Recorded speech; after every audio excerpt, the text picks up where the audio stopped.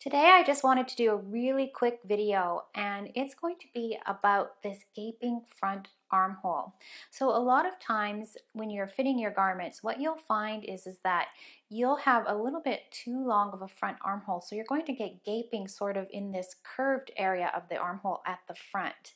Now, sometimes this is going to indicate that you need a full bust adjustment. But sometimes if your bust line is fitting quite well and you don't have any other drag lines here around the bust or directing to the bust, sometimes it's just that that front armhole is a little bit too long for what you particularly need. So this is when you're going to use this particular adjustment. So what I can tell you here is that this front armhole is going to gape at some position. So when you have your muslin on, I want you to make note of exactly where it is because you're going to need that in order to know which side of the notch you're going to need to remove the extra length from. So for instance, if you're finding that it's sort of gaping here, you just want to pin it on your fitting muslin to see how much it's gaping as well as what position it's gaping because you're going to use that information to move to your pattern. So we're going to start out by working with this front pattern piece first. So we're going to set these other pattern pieces aside. Now, once you've determined exactly what position and how much your front armhole is gaping or how much it's too long, you're going to draw that position in on your pattern.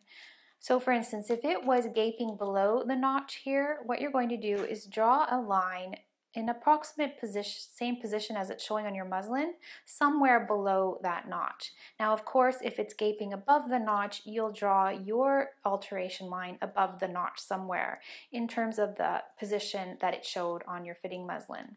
Now, when you have that, what you're going to do is going to take that excess length that you're seeing in the front armhole and move it to your side bust dart or your bust dart wherever it may be.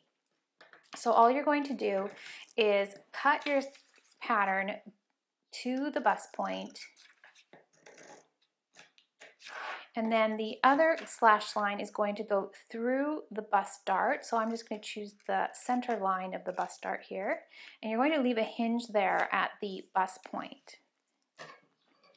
And when you have that, you're going to then measure out the distance that it was too long. So in other words, if your armhole was gaping by a half an inch, you're just going to make a mark here. And you're going to close this slash line and put that excess volume into your bust dart. So it's just really a matter of a bust dart rotation. And you're going to see here that as I close this gaping front armhole, you're going to increase the volume of your bust dart. Okay, so this doesn't actually add any excess um, width or length to your pattern, it just increases the bust dart volume. So you're removing the extra length that you had here and making it disappear inside of your bust dart. So that's the correction there for the front armhole. But of course, you know that if you have a sleeve, you're going to need to make an adjustment to your sleeve. I'm just going to show here where it's overlapping.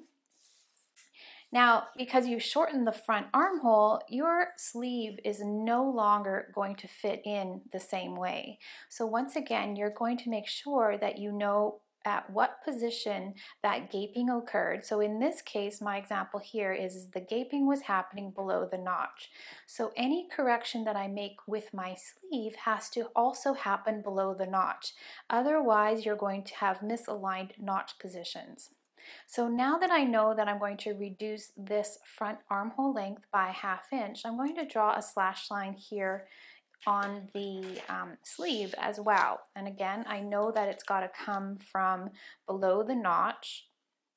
So I'm going to draw a slash line below the notch, parallel with the bicep line, and I'm going to then close this front armhole area on the sleeve by the same amount. So I'm just going to mark half inch away there. I'm going to use the pivot point here at the back sleeve and I'm going to close this section here. So if I just slash that through and leave a hinge there on the back side,